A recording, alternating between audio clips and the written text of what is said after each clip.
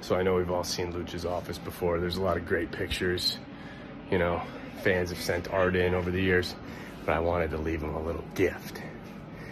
So